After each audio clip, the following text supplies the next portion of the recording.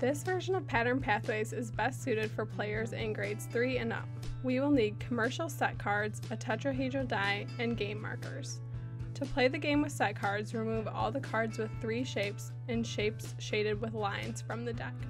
Place the remaining cards in a 6x6 game board. Each player will start between two spaces.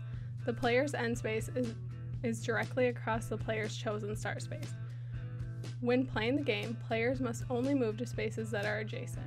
If a player cannot make forward progress, the player can move backwards. Players must move if there is a space they can move to, even if it is going backwards. If a player rolls a 4 at any point during the game, the player may move either 4 spaces if each successive space shares a side and an attribute with one before it. Alternatively, the player may move one space if the adjacent space has no more than one attribute in common. To begin the game, choose one player to go first. On your turn, roll a die. Move that many spaces. To move spaces, must share a side and at least two common attributes. The attributes the spaces may share are color, shape, shading, and number of shapes. In Figure 1, the player may move from the green oval to the green squiggle because they have the same number of figures and the same color. In Figure 2, the player may move from the green ovals to the purple diamonds because they are the same shading and number. In Figure 3, the player may move from the green squiggle to the green squiggles because they are the same color, shape, and shading. Suppose a player rolls a 2. The player counts the first move as a, as a space onto the board that shares a side with the start space. The second move is to any space that shares a side and two attributes with that space. After the first player rolls and moves, their turn is done. Play moves to the player on the left. Orange goes first. They roll a 1. Their only move is to move from the start space onto the board, then their turn is done.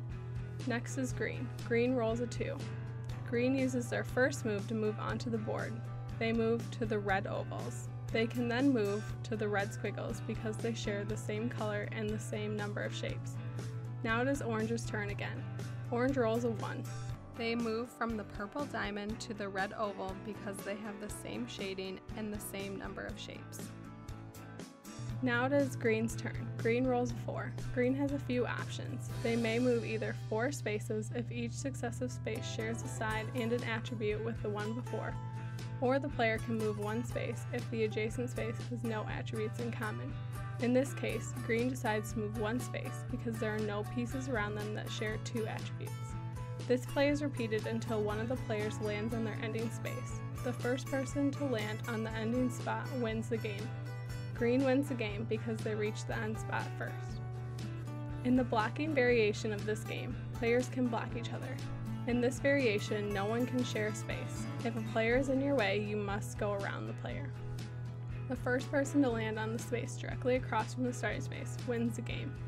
Players do not need to roll the exact number of spaces to win the game. Some questions for discussion. What strategies do you want to remember for the next time you play?